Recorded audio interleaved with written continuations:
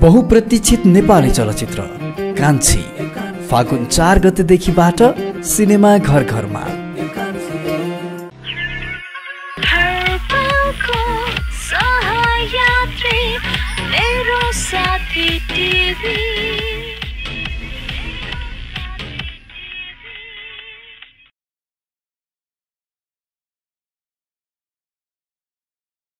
रमाइलो लाग्यो मलाई। प्रत्येक सिनमा के होला के होला के होला थियो सस्पेन्स धेरै थियो। र डिरेक्टरले एकदमै हामीलाई अ, दर्शकलाई एकदमै एक्साइटिङ एकदमै थ्रिलिङ एकदमै एकदमै पर्फेक्सनको जरुरत छ यसमा। एकदमै राम्रो लाग्यो। मेरो साथी टिभी हरपलको सहयात्री। इट वाज रियली नाइस एकदमै राम्रो थियो। एकदमै एक्स्ट्रा अर्डिनेरी थियो। होइन रेगुलर नेपाली मुभीहरूभन्दा धेरै नै फरक। सबै एकदमै सिटमा एकदमै बसाएर के हुन्छ के हुन्छ खालको थियो एकदमै। धेरै डराएँ हजुर? एकदमै पर्फेक्सनको जरुरत छ यसमा। एकदमै राम्रो लाग्यो एकदमै राम्रो लाग्यो? बसिसके पछाडि एकैचोटि दुई घन्टा आठ मिनट पछाडि मात्रै मान्छे छर्लङ्ग हुन्छ। त्योभन्दा अगाडि सोच्ने फुर्सद हुँदैन। एकदमै धेरै भयो। सोचेको थियो त्योभन्दा बढी नै भयो। यो थ्रिलर सस्पेन्स उत्तेजना महसुस गर्न सकिन्छ हरेक क्षणहरूमा। चलचित्र हेर्दाखेरि। त्यसले हेर्नु होला। Obviously Menuka is my favourite ऊ त भइहाल्यो। त्यो माथि हाम्रो यो अर्को बिहारीको क्यारेक्टर गर्नुहुने कलाकार प्लस सुनिल थापा ओभियसली उहाँको जहिले पनि डाइनामिक हो। त्यही कारण एकदमै राम्रो भएको छ चलचित्र। हजुर? अडियन्सको एकदमै इन्जोय गर्नुहुन्छ मलाई त आम स्योर it. एकदमै पक्कै मलाई थाहा छ कि राम्रो उहाँहरूले इन्जोय गर्नुहुन्छ।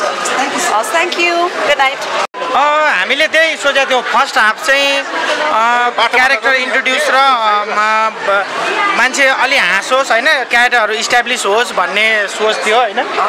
दाई पनि आउनुभयो। होइन? अनि त्यसपछि दाई त्यस्तै होइन?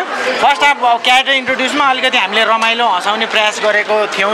त्यसरी नै बनाएको थियौँ र सेकेन्ड हाफ चाहिँ टोटल्ली थ्रिल थियो फिल्म। अ, हामीले जे सोचेर बनाएको थियौँ अडियन्सले त्यही किसिमको रियाक्सन देखाउनु भयो अ, खुसी लाग्यो। होइन पाहुना र अनि सामान्य नर्मल अडियन्स पनि हुन्थ्यो जो चाहिँ फिल्मको भाषाहरू बुझ्नुहुन्न थियो जस्तो हाम्रो मेकरहरूकै आफन्त इष्टमित्र पनि हुनुहुन्थ्यो मैले उहाँहरूको बढी कुरा गरेँ। र फिल्म मेकर तपाईँहरूले पनि फिल्म मेकर र तपाईँहरूले पनि मजा लिनुभयो जस्तो लाग्छ। किनभने त्यो हलको माहौल चाहिँ त्यस्तै बुझिएको थियो। होइन एक्चुली मुभी टाइपको मुभी हेर्नुपर्छ बनाउनुपर्छ भन्ने जुन सोच छ फरक फिल्म फरक छ। ल तिमी डिभाइडेड हौ जाऊ। तिमी त्यति छौ अब दुईजना ग्रुप छ। सिनेमा चाहिँ एउटै टाइपको सिनेमा हेर्दा हेर्दा नेपाल नेपालमा जस्तो आयो ओहो यता नाराबाजी भइरहेको छ सिनेमा फरक टाइपको छ फरक शैलीको छ। जस्तो दुईवटा गीत अनि त्यसपछि फाइट अनि त्यसपछि अलिअलि कमेडी भने जस्तो फर्मुलामा छैन। फरक छ। सिनेमाले होल्ड गर्छ। अलि तपाईँ अलिक फरक टाइपको फिल्म हेरौँ न त नेपाली फिल्म भन्यो भने आएर इन्जोय गर्दा हुन्छ। एक्टरहरूको पर्फर्मेन्स एकदम राम्रो छ। सिन होइन होइन सबै चारजना क्यारेक्टरहरूको इम्पोर्टेन्ट छ। अब सुनिललाई पनि एकदम टेरिबल त्यो टाइपको जुन शेरबहादुरको छ भूमिकामा त्यसमा सफल हुनुहुन्छ। सबै सबै एक्टरको राम्रो यसमा जात्रा डिरेक्टरको पनि प्रत्यक्ष रूपमा संलग्न छ शत्रुगत डिरेक्टर हुनुहुन्छ। अ।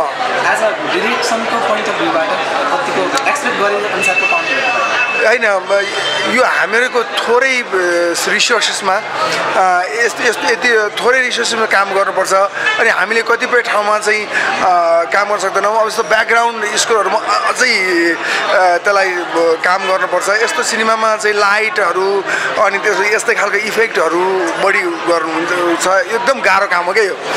किनभने यो अर्कै टाइपको फिल्म हो।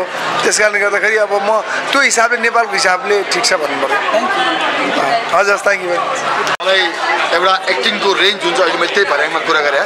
एउटा एक्टिङको रेन्ज हुन्छ स्पिडको एउटा रेन्ज हुन्छ रातो कटिसकेपछि त्यो त्यो एउटा बवाल एउटा त्यो त्यो डेन्जर डेन्जर एक्टिङ गर्नुभएको छ उहाँले डेन्जर बवाल त्यो रेड रेड रेड त्यो लाइन क्रसको एक्टिङ गर्नुभएको छ। उत्कृष्ट एक्टिङ गर्नुभएको छ। नेपाली फिल्म इन्डस्ट्रीमा एक्टिङको रेन्ज भएको मान्छे को भनेर भन्दाखेरि सुनिल थापा भन्दै हुन्छ। त्यति सशक्त अभिनय उहाँलाई उहाँले त्यो अन्न त्यो त्यो त्यो त्यो ब्लाइन्डको एक्टिङमा एक इन्च पनि काहीँ कुनै चाहिँ तलमाथि पाइएन। र समग्र रूपबाट फिल्मको कथाले एकछिन पनि सोच्ने हुन्छ नि? ए एकछिन अलिकति अलिकति बोर भए जस्तो होला हो। यो काहीँ पनि मैले फिल गर्दिनँ। यसमा उत्कृष्ट डाइरेक्सन पछिलाई पनि धन्यवाद दिनुपर्छ। एज ए सम्पूर्ण टिमलाई र आर्टिस्टहरूले अ, सर्वोत्कृष्ट एक्टिङ गरेको छ। हाम्रो रविन्द्र भाइले पनि उत्कृष्ट फिल्मलाई एउटा होल्डै गरेको छ त्योभन्दा अगाडि। अ, अब एज ए सबै त्यो बहिनीले पनि उत्कृष्ट गरेको छ। त्यो हाम्रो कर्म भाइले पनि सम्पूर्णले उत्कृष्ट एक्टिङ गरेको छ। समग्र रूपबाट फिल्म। तपाईँलाई thank you so much Sunil sir. तपाईँ त पहिलोपल्ट टिभीको क्यारेक्टरमा क्यारेक्टरमा पहिलोपटक मैले नेपाली फिल्म गर्दाखेरि हामी बलिउडभन्दा कम छैनौँ भनेर यो फिल्मले प्रमाण छ। This film is believe it or not Bollywood and Hollywood स्ट्यान्डर्डको film छ। मलाई जहाँसम्म लाग्छ र मलाई सबभन्दा खुसी लागेको मेरो फिल्म इन्डस्ट्रीको आफ्नो आफन्त रगत नभए पनि पनि we are more closer than the blood relationship and I'm happy किन उहाँहरूले मलाई झुर भइदिएको भए त दाई तपाईँले त झुरै गर्नुभयो गाली गर्नुहुन्थ्यो। खुसी लागेको छ कि उहाँले मन पराइदिनु भयो र तपाईँहरूले पनि हेर्नु भएको छ तपाईँहरूलाई कस्तो लाग्यो त? खोइ त आवाज आएन नि तपाईँहरूलाई कस्तो लाग्यो? आइएम थ्याङ्क यू उहाँले डर लाग्यो. Thank you so much please मैले जबरजस्ती शेरबहादुर हेर भन्न चाहन्न। मैले के भन्न चाहन्छु भने हाम्रो मनभित्र नेपाली चलचित्र नेपाली चलचित्रलाई माया गर्नुहोस्। र मलाई जहाँसम्म लाग्छ शेरबहादुर हामीहरूले मेरो टिमले गौरी शङ्कर दुज्यूले र पुरा टिमले एउटा राम्रो प्रसाद पस्किन खोजेको छौँ। हजुरहरूलाई मनपर्छ जस्तो मलाई लागेको छ। होइन मलाई थाहा छ आज यो फिल्म लागेपछि शुक्रबारमा सबैले मलाई ए शेरे भनेर शेरबहादुर अनि बोलाउँछ शेरे लभ यु अल हाम्रो मनभित्र नेपाली चलचित्र please love Nepali film industry यो अस्ति फुटबल खेल्यो भने हल्का गाइदिएँ thank you thank you thank you रमाइलो लाग्यो मलाई प्रत्येक सिनमा के होला के होला के होला थियो सस्पेन्स धेरै थियो र डिरेक्टरले एकदमै हामीलाई अ, दर्शकलाई पार्न सक्नु भएको छ दुई घन्टा मुभी सस्पेन आजदेखि शेरबहादुर होइन उसको नाम चाहिँ हामीले स्याडिस बुढो राख्यौँ।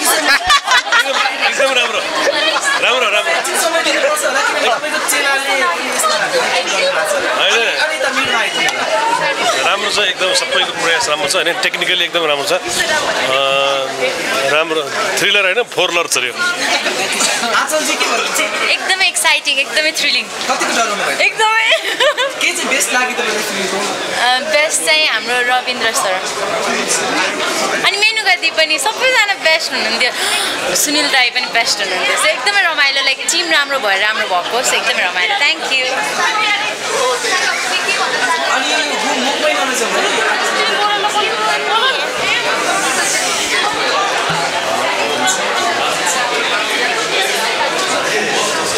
बहुप्रतीक्षित नेपाली चलचित्र कान्छी फागुन चार गतेदेखिबाट सिनेमा घर घरमा।